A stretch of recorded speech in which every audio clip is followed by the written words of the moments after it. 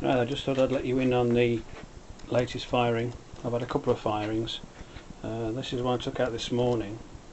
These are those uh, sake bottles I did the other day. It's quite nice. I'll bring this outside so you can see it.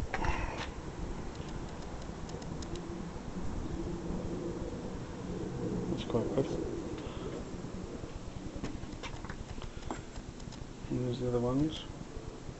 As I've mentioned before, I split my firing into two. The bottom layer is a biscuit firing, the top layer is a gloss firing.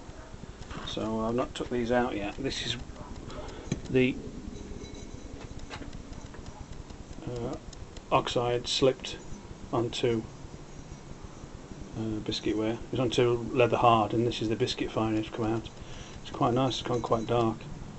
That'll be nice with this green glaze over the top. So they've come out quite well. You probably can't see it on the video, but at the very edge of the uh, splashing there, it goes a paler colour. So hopefully the glaze will pick that up when I fire it next few days. And here's one. Here's a test piece. This is a once fired raw glazed piece. It's the same glaze that we've got on these bottles here. That's glazed onto biscuitware. This is just a dried pot. It's on quite. It's gone quite thin. I just dipped it very quickly because I didn't want the pot to start to deform from soaking up all the water. So next time, what I will do is dip it, let it dry, and then dip it again. So it'll be twice dipped. So I'll get a slightly darker green on it, like this here. But that's gone really well. Uh, so they're quite pleasing.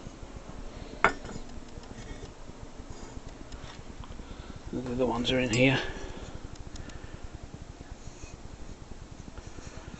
I'll get some glaze on those this afternoon, see if I can't get them back in tomorrow. That's quite good. The previous firing I had, uh, those little sake balls. Put my hand in so you can see how big they are. A little thumb imprint for drinking. These have got copper carbonate painted over the top and it's bled quite a bit. I quite like it. Oops. Uh, but I've lost the detail on it, but they look quite nice.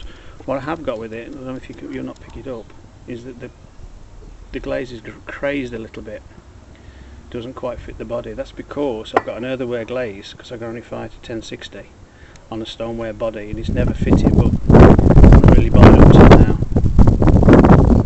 There's some little more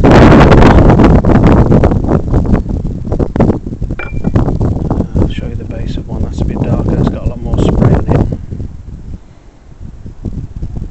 Quite nice. But what's happened? If I go back in here what's happened with this glaze is because I've put 3% copper carbonate in and 3% bentonite there's no crazing so I've cured the problem with the previous pots out there by putting some bentonite and I think it's fitting the bod fitting the clay body a little bit better I mean really I should throw with white earthenware and put an earthenware glaze on it but this is the clay I use for my raku and I really can't afford to buy four or five different types of clay. I use the same clay for everything, so uh, economics has forced that problem. Something I didn't mention before with these, this is a, an ordinary sake bottle, it's only got one pouring rim. These ones here, that have got the thumb imprint, I've got two pouring rims, one on each side, because that's for a right-handed person. And obviously That's for a left-handed person. So it needs two rims on. So it's not handed. Anyway, so I'm quite pleased with those. It's worked alright. Turn around, I've just had a bit of a sweep up, you won't be able to tell, but there's the pots for the sale next week, all piled up in the corner, so we're finally getting somewhere. Um, I'll show you the results of these these pots here having been glazed with the